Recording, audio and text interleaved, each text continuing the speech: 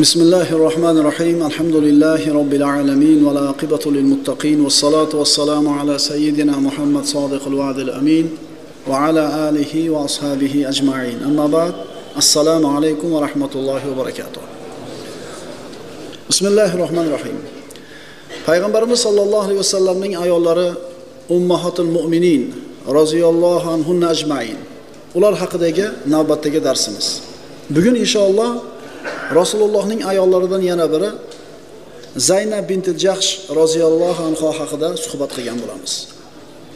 Ummul mo'minin zaynab binti jahsh roziyallohu anhu. Bu onamiz payg'ambarimiz sollallohu alayhi vasallamning ammasini qizi edi. Ammasi umaymani qizi edi. Rasululloh sollallohu alayhi vasallamning ammasini qizi. Payg'ambarimiz payg'ambar bo'lib yuborishligidan 17 yil avval tug'ilgan edi. Payg'ambarimiz payg'ambar bo'lganlarida zaynab binti jahsh roziyallohu anha 17 yoshda edi. Bu onamiz birinchilardan bo'lib islomga kirdi va birinchilardan bo'lib hijrat qilgan kishilardan edi. Bu ayol bu ulug' sahobiya rasululloh sollallohu alayhi vasallamning zavjay mutoharalari, ummul mu'mininlardan. rasululloh sollallohu alayhi vasallamga turmushga chiqqunga qadar zayd ibn Xorisa roziyallohu anhoning ayoli edi. Mana arab tilida mavlo degan kalima bor. Bu nodir kalimalardan. Mavlo degan so'z o'zini xo'jayiniga nisbatan ham aytilinadi. Mavlo degan so'z o'zini quliga nisbatan ham aytilinadi. Alloh taologa ey mavloyim deyiladi. Allohga ham ishlatiladi. Ey mavloyim deb. Endi shu odam quliga ham ey mavloyim deb aytadi. Demak mavlo kalimasini bir biriga qarama qarshi ikki xil ma'nosi bor. Mavlo deganda sayyid xo'jayin ham tushuniladi. Qul xizmatkor ham tushuniladi. Zayd ibn horisa roziyallohu anhu payg'ambar sollallohu alayhi vasallamning mavlosi edi. Zayd ibn horisa zaynab binti jahshni taloq qilganidan keyin payg'ambarimiz bu ayolga uylandi. Alloh taolo qur'onda oyatlar nozil qildi. Rasulullohga zaynab onamizga uylanishlikka buyurdi. Shundan keyin uylandi. Va rasulullohni ayollarini ichida faqat zaynab binti jahshga alloh taolo uylaning deb buyurdi. Ya'ni samo vahyisi bilan ollohning amri bilan payg'ambarimiz bu onamizga nikohlandi. Astag'billah falamma qada zaydun minha vatara zavvajnakaha bas qachonki zayd undan ya'ni zaynabdan hojatini ado qilgach talog'ini bergach biz sizni unga uylantirdik. Demak kim uylantirdi payg'ambarimizni zaynab onamizga? Alloh taolo uylantirdi. Payg'ambarimiz sollallohu alayhi vasallam zaynab onamizga uylanganida zaynab onamiz yoshi o'ttiz beshda edi. Rasulullohning vafotidan keyin birinchi vafot etgan zavjalari ham mana shu ayni zaynab onamiz bo'ladi. Nima uchun alloh taolo payg'ambarimizni zaynab onamizga uylanishga buyurdi? Vaholanki zayd ibn horisa rasulullohni mavlosi o'ziga o'g'il qilib olgan bolasi edi buni tarixi quyidagicha zaynab onamizni zayd taloq qilishligini tarixi siyrat kitoblarida shunday keltiriladi alloh taolo qur'onda aytadi وإذ تقول للذي أنعم الله عليه وأنعمت عليه أمسك عليك زوجك واتق الله وتخفي في نفسك ما الله مبديه وتخشى الناس والله أحق أن تخشاه falamma qodo zaydun minha vataro zavvajnakaha ey muhammad sollallohu alayhi vasallam eslang siz olloh inom marhamat qilgan va siz qullikdan ozod qilib uni o'g'il qilib olishlik bilan inom qilgan kishiga juftingni o'z huzuringda ushlagin uni taloq qilishlikdan shoshilma ollohdan qo'rqin deb olloh oshkor qilguvchi bo'lgan narsani ichingizga yashirgan edingiz. Va Allohdan qo'rqishingiz haqroq bo'lgan holda siz odamlarni ta'na malomatlaridan qo'rqqan edingiz. Bas qachonki Zayd undan hojatini ado qilgach, biz sizni unga uylantirdik. Demak, Zaynab binti Jahshga Allohning amri bilan payg'ambarimiz sollallohu alayhi vasallam uylandi. Tabanni odati, tabanni urfi shu oyat bilan bekor bo'ldi. Mana shu oyatlar tabanni oyatlari deyiladi. Tabanni nima? Siz bilan biz yurtlarimizda ham bu yoyilgan narsa va urf bo'lib ketgan narsa. Ammo mana shu narsa shariatimizga xilof birodarlar. Tabanni bir kishi bir bolani boqib oladi, o'ziniki bo'lmagan. Boqib olib, o'zimni o'g'lim deyishligi, o'zimni qizim deyishligi. Bu kishi bir bolani boqib olib o'ziga nisbatlab olar edi, vaholanki bu bola o'zini bolasi emas. Mana shu bola kattayganda shu boqib olgan odamni bolalariga nomahram bo'ladi.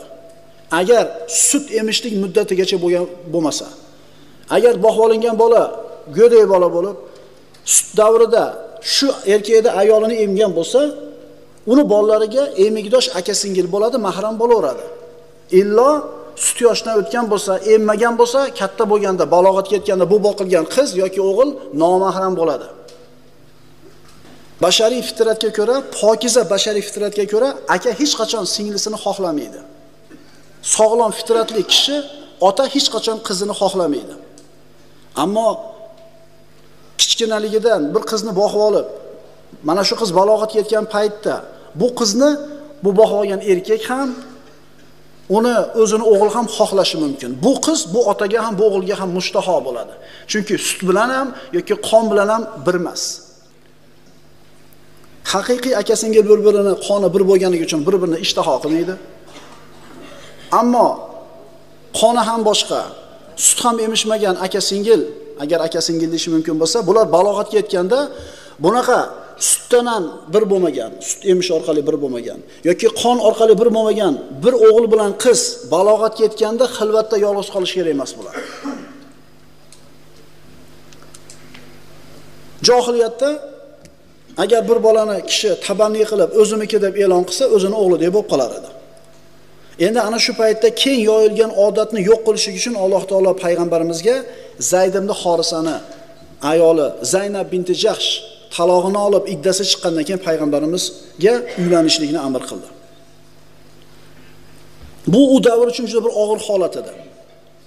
Chunki chunki payg'ambarimiz sollallohu alayhi vasallam hadicha onamizga uylanganida Zayd kichkina bola edi.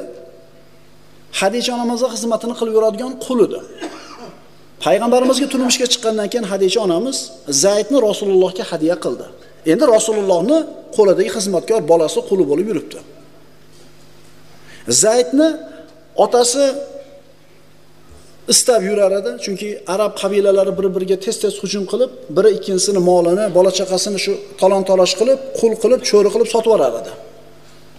Zayd ham mana shu qabilda qul bozoriga borib sotilib qolgan bo'ladi.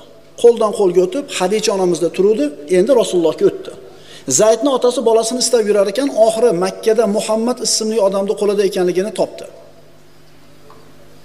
ma'lum bir mablag'da olib o'zini ukasi bilan Makkaga kelib Rasululloh sollallohu alayhi vasallamni topdi. Bu hali Rasululloh hali payg'ambar bo'lmagan payt. Kelib ey Abdulmuttolibning o'g'li, ey o'z qavmini sayyidining o'g'li, sizlar haram ahlidansizlar, mashaqqat egalariga yordam berasizlar. Sizni qo'lingizdagi o'g'limizni sizdan so'rab keldik. Bizga yaxshilik qiling. Mana bu fidosini olib qaytarib bering dedi. o'g'lini ozod qilgan ota pul ko'tarib keldi. Rasululloh sollallohu alayhi vasallam Rauf Rohim bo'lgan zot. Birodarlar, hali payg'ambar bo'lgani yo'q Rasululloh. zaydni chaqirib kelinglar dedi. Ixtiyorni o'ziga beringlar dedi. Agar sizlarni xohlasa, pul olmayman, ketaveradi sizlar bilan. Agar men bilan qolishini tanlasa, meni tanlagan odamni qo'yib, pulini olmayman sizlardan hech qachon dedi. yer yuzida birodarlar bironta bir bola agar u qul bo'lib turgan bo'lsa ota onang bilan ketib ozod bo'lib yashaysanmi? Yoki qul bo'lib qolasanmi deb so'rasa hech qachon qullikni tanlamaydi. Qanday qilib qullikni tanlashi mumkin? Zaydni chaqirib kelishdi. Rasulullohni qo'lida bir necha yil qul xizmatkor bo'lib yurdi. Mana endi otasi amakisi kelib ozod qilaman deb turibdi. Payg'ambarimiz sollallohu alayhi vasallam ey zayd bu ikki kishini taniysizmi dedi. Ha mana bu otam mana bu amakim dedi. Payg'ambarimiz aytdi meni kimligimni bilasiz bularni ham taniyapsiz xohlang meni tanlab men bilan qoling. Xohlang otangizni tanlab ular bilan keting dedi. Shunda zayd ibn horisa roziyallohu anhu nima dedi? Bu endi kichkina bola. Shunda zayd sizni qo'yib hech kimni tanlamayman. Siz men uchun ham ota ham amakim o'rnidasiz dedi. Rasulullohning go'zal axloqini ko'ring. Qulga qilgan muomalasi bu qulni asir qilib qo'yapti qalbini. Qul bo'lib qolishlikka rozi bo'lyapti. Faqat payg'ambarimiz oldidan ketmasa bo'ldi. Yana qaytarib aytamiz, hali payg'ambar bo'lgani yo'q Rasululloh sollallohu alayhi vasallam. Va innaka ala xuluqin azim. Rasulullohni yonida turgan quli birodarlar ketishni xohlamayapti. Odamlar bor, xo'jayinni oldida zo'rg'a turadi. Odamlar bor, iloji yo'q, zo'rg'a turadi, chunki tirikchilik qilishlik kerak shuni qo'lidan. Bu qanaqa rahbarlar ekan? Musulmon odamga, musulmon rahbarga kim ibrat bo'lar ekan? Sizni mansabingiz uchun hurmat qilayotganlar, sizni unvoningiz uchun hurmat qilayotganlar, sizni pulingiz uchun hurmat qilayotganlar mana shu narsalardan mahrum bo'lsangiz ikki pulga olmaydi. Agar shu narsa uchun hurmat qilayotgan bo'lsa. Agar ularda qalbini haqiqiy kasb qilgan bo'lsangiz, haqiqiy muhabbatiga erishgan bo'lsangiz, pulingiz bo'lsa ham, kasal bo'lsangiz ham, sog' bo'lsangiz ham sizni hurmat qiladi. Nima demadingiz? Demak, insondagi eng asosiy narsa nima ekan? Pulmi? Yo'q. Qul, qul ketasanmi desa, yo'q, qul bo'lib qolaveraman. Faqat siz bilan qolsam bo'ldi, deyapti. Shunda Zaydning otasi yorilib ketgudek bo'lib, "Ey bola" dedi. "Voy senga voy bo'lsin" dedi. "Xurlikni, ota-onangni, oilangni qo'yib qul bo'lishni tanlaysanmi?" dedi. Zayd aytdi, "Men bu insondan shunday bir zo'r muomalani ko'rdimki, ota-onam ham bunaqa muomala qila olmaydi" dedi. Hozir odamlar bolalariga qulga qilgandek muomalani qiladi. Chunki farzandlar ham ota-onalarga qulga sayyid muomala qilgandek qiladigan bo'lib qolgan muomalasini. Zayd ibn Horisa roziyallohu anhu Hadija onamiz bergandan keyin payg'ambarimizning qo'lida qoldi. Rasululloh sollallohu alayhi vasallam eng mehribon, rahmdil bo'lgan zot qulni qul bo'lib qolishligini xohlarmidi? Ketam demadi, chunki ket desa yana zulm bo'ladi, chunki qolishni xohlayapti. Ma bu qarangda, ixtiyorda, xola qol, xola ket deyapti.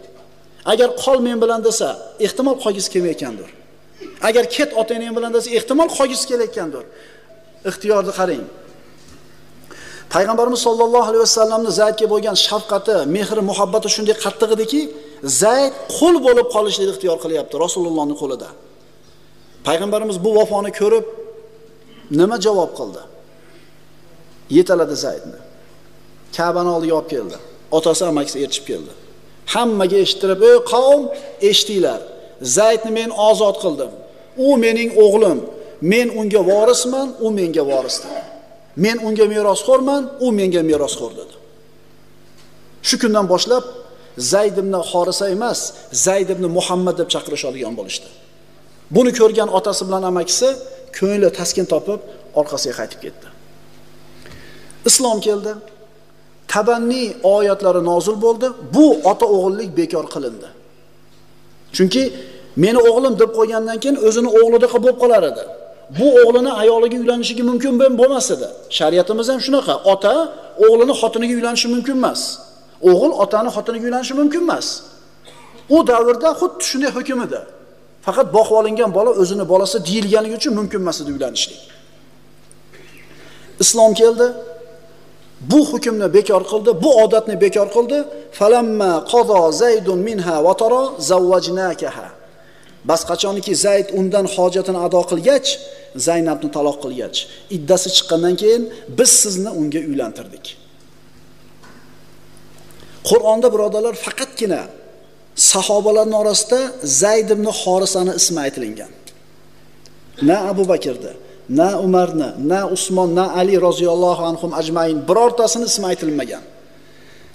Faqatgina Zayd ibn Xorisaning ismini Alloh taolo Qur'onda zikr qildi. Zayd ibn Xorisani Zaynab binti Jahshga uylanishlik va uni taloq qilishlik qissasi. Bu qanday bo'lgan edi? Bu qissani Zaynab onamiz o'zi hikoya qilib aytadi. Menga Qurayshdan bir qancha kishilardan sovchi keldi. Maslahat so'ragani opasini jo'natdi.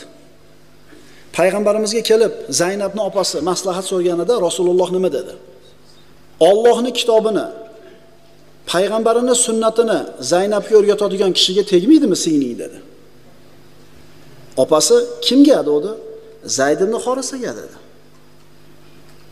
Opasi qattiq g'azablanib ketdi. "Yo Rasululloh" dedi. "Ammangizni qizini" dedi. "Mavloyingizga nikohlab berasizmi?" dedi. Ya'ni qullikdan chiqqan qora bo'lgan Zayd ibn Xorisaning rangi. Qora qulga nikohlab berasizmi o'zingizni ammangizni qizini? Bir-biriga tengmas. johiliy davr bo'lib o'lchovi bilan o'lchansa bir biriga tengmas zaynab roziyallohu anhu qurashdan abdul muttolibning urug'idan makkada yashaydi. Qurash qabilasi arablarning eng ulug' kuchli qabilalaridan yana payg'ambarimizni ammasini qizi. Qanday qilib bir qora qulga nima qiladi? Nikohlab beradi.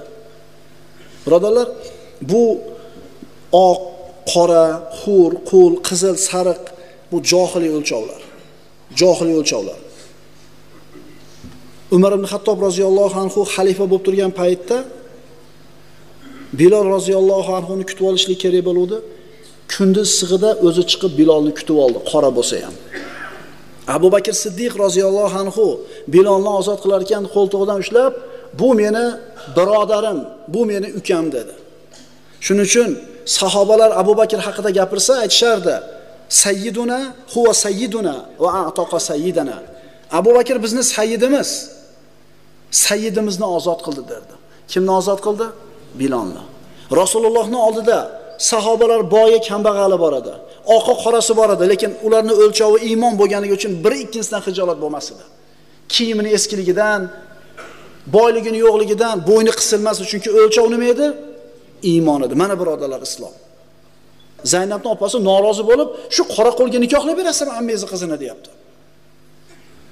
Opasi kelib zaynabga Rasulullohning so'zini yetkazganida zaynab binti jahsh aytadi. opamni g'azabidan ko'ra g'azabim qattiqroq bo'ldi shunda alloh taolo oyat nozil qildi diqqat qilinglar siz bilan bizga ham juda bir muhim bo'lgan ma'nolar وما كان لمؤمن ولا مؤمنة إذا قضى الله ورسوله أمرا أن يكون لهم الخيرة من أمرهم Alloh va uning payg'ambari bir ishni hukm qilgan, buyurgan vaqtida biron mo'min va mo'mina uchun Allohning hukmini qo'shib o'z ishlaridan ixtiyor qilishi joiz emasdir. Alloh buyurdi, Alloh taolo qaytardi. Mo'min mo'mina bo'lsangiz, quloq tutib bo'yinsunishingiz kerak. Fikringiz bildirilmaydi bu yerda. Agar Alloh halol deb qo'ygan narsada fikringizni bildirayotgan bo'lsangiz, musulmon emassiz. Alloh harom deb hukm qilib qo'ygan joyda, payg'ambar hukm qilib qo'ygan joyda fikringiz, munosabatingiz, odamlarni ra'yi sizni qiziqtirayotgan bo'lsa, siz musulmon emassiz. Mana men Zaynabni Zaydga uylab qo'yaman desa, Zaynab binti Jahshni achchiqi kelyapti. Qoraqulga beradimi meni? Payg'ambar hukm qilsa, bir musulmon ayol quloq solishni xohlamayapti. Alloh taolo nima dedi? Alloh va payg'ambari biror hukmni hukm qilgan paytda musulmon odam uchun hech qanday ixtiyor qolmasligi kerak. Aroq harommi? Gap tamom, yig'ishtiring. Besh mahal namoz o'qishlik kerakmi? Yig'ishtiring gapni. Farzda, haromda savol berilmaydi. Toqati, sharoitiga qaralmaydi. U nafl amallarda toqatiga qaraladi. Sharoitiga qaraladi, ammo farz haromda Shuning uchun birodarlar, iymonning darajasi bor. jannat ham nimasi bor? Ana shu iymonning darajasiga qarab turib, jannatda ham nima belgilanadi? Daraja belgilanadi. Alloh va Rasuli hukm qilgan ish ustida bahsga yo'l ochadigan bo'lsangiz, musulmon emassiz. Shariatning hukmi aniq bo'lgan ish, Qur'on oyati bilan haromligi yoki halolligi sobit bo'lgan ish ustida so'z yuritib bahs qilsangiz, musulmon emassiz. Bu oyatlarni eshitganidan keyin Zaynab binti Jahsh Rasululloh sollallohu alayhi vasallamga odam yuborib, "Ya Rasululloh, men Alloh va payg'ambarning hukmiga quloq solaman. Men istig'for aytaman" dedi. Alloh va rasuliga itoat qilaman dedi. Shunda payg'ambarimiz sollallohu alayhi vasallam Zaydga nikohlab berdi. "Ya Rasululloh, xohlagan ishingizni qiling, men roziman" dedi. Shunda Zaynab binti Jahshni Zayd ibn Horisiga payg'ambarimiz nikohlab berdi. Shunday qilib Qurashni eng ulug' oilalaridan bo'lgan Abdul Muttolibning nabiralaridan bo'lgan Zaynab binti Jahsh Qoraquldan chiqqan Zayd ibn Horisaga xotin bo'ldi. Endi ayol kishi Zaynab binti Jahsh ham birodarlar odam, ma'sum emas. Bu qora odamni xotini bo'lishlikni ko'tara olmadi. Rasulullohga qarindosh bo'lganligi uchun Rasululloh nikohlab qo'ygani uchun Zayd ibn Horisa Zaynab onamiz bilan yashashni xohladi. Zaynab bilan yashashni xohladi. Ammo Zaynab binti Jahsh Zayd bilan yashashni xohlamadi. Qiyinda birodarlar, qiyin. Xohlamay tursa ayol kishi siz bilan yashashlikni.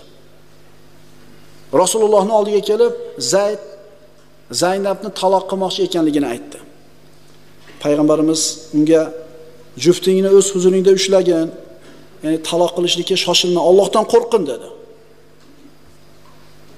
Lekin baribir bu ish oxirida taloq bilan nihoyasiga yetdi. Zaynab Zayd ibn Horisa tomonidan taloq qilindi.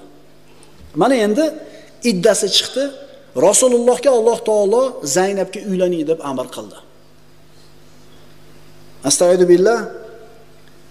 إذ تقول للذي أنعم الله عليه va an'amta alayhi amsik alayka zawjak vattaqillah mana shu oyat nozil bo'ldi. Oxirida falamma qazo zaydun minha vatara zavvajnakaha ey muhammad mana endi oyatni o'qisak to'liq tushunamiz endi. Ey muhammad eslang.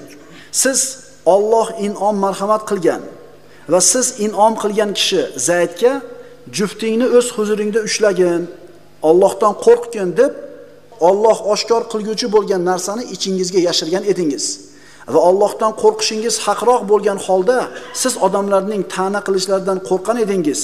Bas qachon Zayd undan hojatini ado qilgach, biz sizni unga uylantirdik. Alloh taolo buyurdi, Rasululloh sollallohu alayhi vasallam Zayd ibn Xorisani ayoli Zaynab binti Jahshni iddas tugaganda uylandi. Bu Allohning buyrug'i edi, birodarlar. Payg'ambarimiz sollallohu alayhi vasallamni malomat qiladigan, u zotga ayb qo'yadigan dinimizni dushmanlari o'zini o'g'lini xotiniga uylandi deb ma'lumot qilishadi. Mana biz oyatlarni o'qidik, u davrdagi johiliy odatlarni ko'rdik, hech qachon o'zini o'g'li bo'lmas edi. Demak, boqib olgan odam boqilgan bolasi hech qachon o'zini haqiqiy o'g'li bo'lib qolmaydi. Ha, yetimni boqishlik savob ish, unga ko'mak ko'rsatishlik albatta ulug' mukofotlar, ajrlar olinadigan ish, ammo balog'atga yetganda o'zini farzandlardan ajratishlik kerak buni. Ayollar aytib qoladi, bu o'zimni o'g'lim deb qo'ygan deydi. Bu o'zimni ukam deb olib qolgan, hech qachon ukang deb bo'lmaydi. Chunki bu seni ishtaho qiladi. Seni xohlaydi. Sen bilan yolg'iz qoladigan bo'lsa, bu yigitni, bu erkakni oyog'i toyilib ketishi mumkin. Sen tufayli jahannamga ravona bo'lishi mumkin. Sen tufayli haromga qul urib qo'yishi mumkin. O'zim singlim deb qo'ygan deydi. Yo'q. Qiyomat qiyomatlik nima deydi? Qiyomat opam. Haligi chiroyli gap bu. so'zga usta chustirib oladi gap, bekar gap. Bekar gap. Agar seni o'zingni ukangdek o'g'lingdek bo'lib qoladigan bo'lsa, Zayd ibn Horisa payg'ambarimizga o'g'ildagida haqiqatda. Shunday yaxshi ko'rgan ediki, qulchilikda qolishlikka ham rozi bo'ladi. Ammo bu narsa hech qachon haqiqatga aylanmaydi.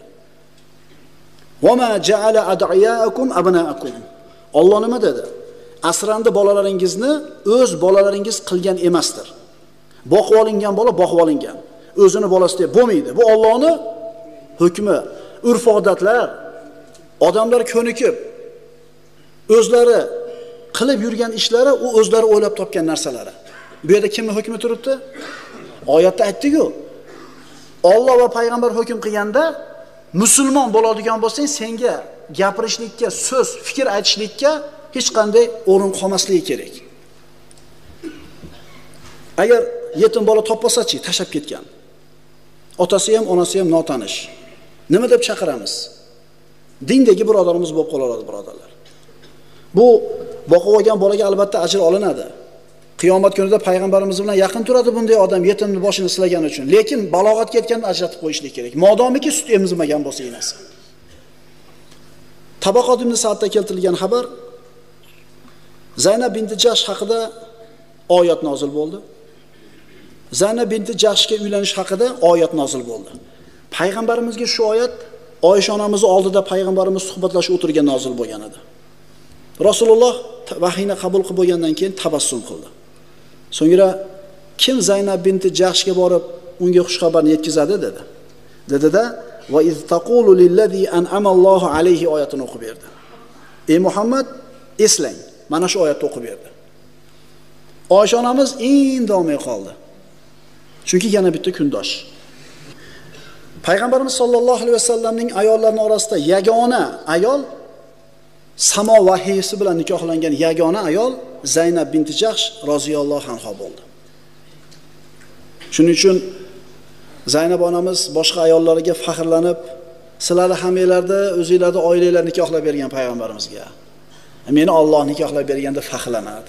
Haqiqatan bu ulkan sharaf edi. Oysha onamiz aytadilar, Zaynab binti Jahshni Alloh taolo rahmat qilsin. Dunyoda hech kim yetmagan sharafga yetdi.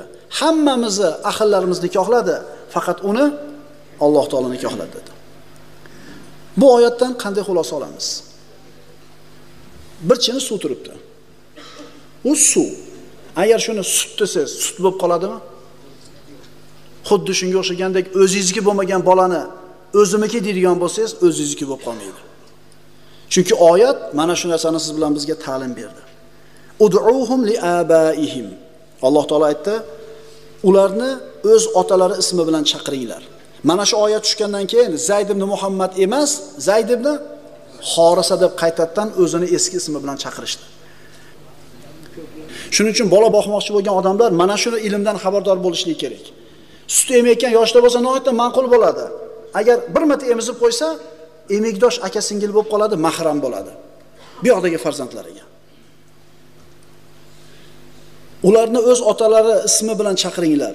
Shu Alloh nazdida to'g'riroqdir. Endi agar ularning otalarini bilmasangizlar, u holda ular sizning diniy birodarlaringiz va do'stlaringizdir. Ya'ni u holda birodarim falonchi yoki do'stim falonchi deb chaqiringlar.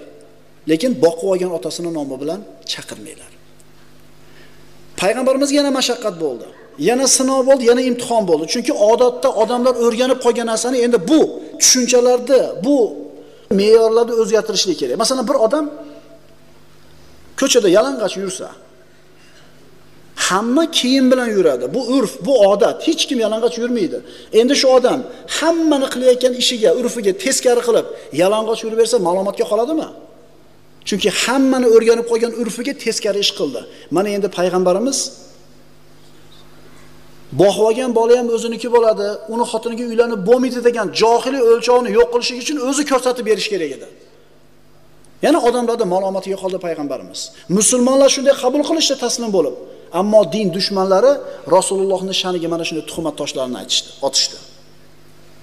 Alloh taolo aytadi: "Ma kana Muhammadun aba ahadin min rijalikum, valakin Rasululloh va xotaman nabiyyin va kana Allohu bikulli shay'in alima." Muhammad sizlardan biron kishining otasi emasdir. Biron erkak kishining otasi emasdir. Balki u Allohning payg'ambari va payg'ambarlarning so'nggisidir. Alloh barcha narsani bilguvchi bo'lgan zotdir. Rasululloh sollallohu alayhi vasallamning 3 ta o'g'il farzandi bo'lgan, lekin uchalasi ham yoshligida vafot etib ketgan. Nima Alloh taolo qizg'andimi o'g'il farzandi payg'ambarimizdan? Yo'q, birodarlar. Albatta bu hikmat bilan bo'ldi. Albatta bu hikmat uchun bo'ldi. Toki hech qaysi bir erkak men payg'ambarning urug'idanman, men payg'ambarning vorisiman demasin. Payg'ambar meni otam demasin. Toki talashib tortishib husumat bo'lmasin. Odamlarga noto'g'ri ibrat bo'lib qolmasin. Chunki zurriyotdan ketgan agar o'g'il bola bo'lsa faras qilinglar. Ko'payib, ko'payib ketib turib, hozirgi zamonga yoshlar singari bir ayniydigan bo'lsa ana deydi. Xorakani o'g'li deydi-yu. Tushunarlimi? Avvalambor Alloh bilgan hikmat. Lekin mana shunga o'xshagan noto'g'ri ibrat bo'lmasligi uchun, ana payg'ambar o'g'li demasligi uchun Alloh taolo yana o'zi bilgan hikmat uchun biz bilmagan o'g'il farzandlarni olib qo'ydi. Muhammad alayhisolamning otasi ham, onasi ham Rasululloh kichkinaligida vafot etdi. Otasi Rasululloh tug'ilmay o'tdi. Onasi 6 yasharda o'tdi. Agar ota-onasi tirik bo'lib turib, payg'ambarimiz shunday inson bo'lib ketganda otasi aytar edi. Meni bolamda bu, men tarbiya qilganman. Meni tarbiyamda demidi? Der edi. Agar onasi tirik bo'lib, Rasululloh shunday maqomga ko'tarilsa, nima der edi?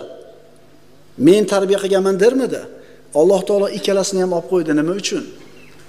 Ey Muhammad sallallohu alayhi vasallam, sizni men tarbiya qilganman deyishlik uchun. Alam yajidika yatiman fa'awa va wajadaka dollan fahada. Sizni yetim holda olib panohimizga olmadikmi? Adashgan holda topib hidoyat qilmadikmi? Demak, Alloh taolo o'ziga payg'ambarimiz sollallohu alayhi vasallamni tanlab oldi. Dalil vastana'tuka li nafsi va men sizni o'zimga payg'ambarlik uchun tanladim. Demak, payg'ambarimiz sayyidul xalq afzalul anbiya val mursalin bo'lishligi uchun Alloh taolo tanlab oldi. Mana endi shu hodisadan keyin Zayd ibn Muhammad demay qo'ydi hech kim Zaydni, Zayd ibn Horisa bo'ldi. Rasululloh sollallohu alayhi vasallam o'g'il farzandlari yoshligida o'tib ketdi, ammo qizlari barchalari tirik bo'ldi payg'ambar bo'lganida payg'ambarimiz. Barchalari musulmon bo'ldi. Rasululloh uchta qizini ko'mdi. Zaynab, Ruqoya, Ummu Kulsumdi. Payg'ambarimizdan keyin qolgan bitta farzandi fotima onamiz roziyallohu anhu Lekin bu onamiz ham uzoqqa bormadi rasulullohni vafotidan keyin u onamiz ham vafot etdi. siyrat ulamolar aytadi, tabanni odatini bekor qilish uchun Alloh taolo Muhammad alayhissalomni Zaynab binti Jahshga uylanishga buyurdi. Otalar o'zlarini o'g'illarini ayollarga uylanishlik harom. Mana shu hukm bilan boqib olingan bola otaga o'zini haqiqiy bolasi bo'lmasligiga bir dalil bo'ldi. Rasululloh Zaynab binti Jahsh onamizga uylandi, valima qilib berdi. Qo'y so'ydi. Anas ibn molikni jo'natdi. Odamlar guruh-guruh bo'lib payg'ambarimiz uyiga kirib o'tirishdi, yeb, ichib, valimani qilib chiqib ketishdi. Endi bir to'p odam kirdida uzoqroq o'tirib qolishdi payg'ambar alayhissalomni uyida. Qur'on birodarlar bizga katta kichik har bitta narsani ta'lim beradi. Sunnat bizga har bitta narsani ta'limini beradi. Rasulullohning uyiga kirib qolishlik qanaqa sharaf. Rasulullohning uyida bitta dasturxonda o'tirishlik qanaqa sharaf. Endi bu sahobalar chiqib ketib kelmasdan o'tirishganda, birodarlar, payg'ambarimiz harajga kirgan. Odob axloqni cho'qqisi bo'lgan, ibrati bo'lgan Rasulullohga malol kelgan. Endi eng yaqin birodaringizmi qaynotangizmi, kuyov bolangizmi malollanadi u. Rasululloh sollallohu alayhi vasallamni uyiga kirib ovqatlangan ayrim sahobalar o'tirishib oldi. Shu masalada oyat tushdi. Demak, kichkina masala emas bu. استعيذ بالله يا ايها الذين امنوا لا تدخلوا بيوت النبي الا ان يؤذن لكم الى طعام غير ناظرين اناه Ey mo'minlar payg'ambarning uylariga faqat sizlarni biron taomga chaqirilsagina kiringlar. O'shanda ham uning pishishiga ko'z tutib turguchi bo'lmanglar. ولكن إذا دعيتم فادخلوا فإذا طعمتم فانتشروا ولا مستأنسين لحديث inna zalikum kana yu'dhi nabiy. Balki chaqirilgan paytingizda kirib taomlangach tarqalinglar va biron gapga berilgan holingizda u yerda qolib ketmanglar, chunki bu ishlaringiz payg'ambarga ozor berur. Xususan, kasal ko'rgani borgan odam o'tirib ovqatishadi o'shada. Bansadan tushdi, operatsiya bo'ldi yoki boshqa betob bo'ldi, kiradida o'tirib haligi kasalni ezadi o'zi kelganlar. Ko'chadagi nahnamoqni gapiradi, problem gapiradi. Bitta ovqat ichmasdan chiqib ketsa nima bo'ladi, hoji aka? uyni egasi xafa bo'ladi. Bitta ovqat ichmay chiqib ketasizlarmi? Chiqib ketadi. Chiqib ketadi, chiqib ketadi. Kasalni oldiga keldimi? O'tirdi, holini so'radi, dardini aytdi, yengilladi. Bular olib chiqib ketish kerak. 5 daqiqa o'tirdi, 6 daqiqa o'tirdi, ja bo'lsa 10 daqiqa bir oyatdan, hadisdan aytib, gunohlari yuvilishiga umidvor qilib, savobdan bir umidvor qilib chiqib ketasan. Ba'zida inson gapga berilib qoladi, ammo gaplashib o'tirgan odam malollanib qolishi bor. Shuning uchun musulmon odam xushyor bo'lishi kerak. Payg'ambarimiz sollallohu alayhi vasallam uylari tor, Rasululloh hijolatda, Zaynab onamiz tor uyda ichida u ham hijolatda. Demak, uyga kirgan odam iloji boricha uy egalarini mashaqqatga, harajga kirgizmasdan chiqib ketishlikka haris bo'lishlik kerak bo'ladi. Bu qissadan qanday xulosa olamiz? Odamlarni bu odam meni o'zim ukamdek bo'lib qolgan, bu qiz meni sinimdek bo'lib qolgan degan gaplari bekar gap. Hech qachon bu begona erkak senga uka bo'lmaydi, begona ayol senga singil bo'lmaydi. Bu Alloh man qilgan ishlardir. أقول قولي هذا واستغفر الله لي ولكم السلام عليكم ورحمة الله وبركاته بسم الله الرحمن الرحيم الحمد لله رب العالمين ولا